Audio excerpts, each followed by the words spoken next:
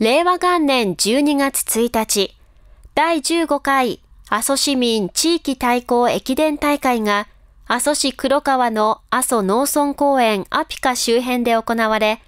宮地 A チームが50分45秒で3連覇を果たし、7度目の優勝を決めました。まず開会式が行われ、大会会長の佐藤阿蘇市長が、健康と体力づくりはもちろん、駅伝を通して各世代から集まったメンバー同士の交流、また他の地域との交流も深めていただきたいと挨拶。参加選手を代表して、前年度優勝チームの村原鈴美さんと村原桃美さんが力強く選手宣誓を行い、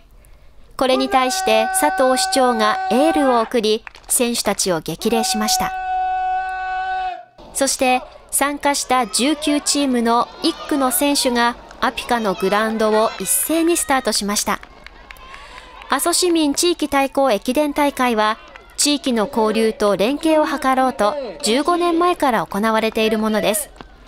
昨年までは市内の一般道を走る12区間で行われていましたが、今年からはコースを阿蘇農村公園アピカ周辺を周回する8区間14.88キロのコースに変更されて行われ、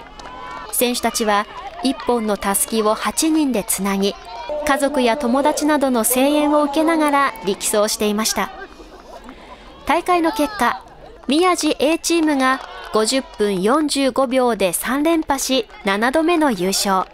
2位は宮地 B チーム、3位は宮地 C チームでした。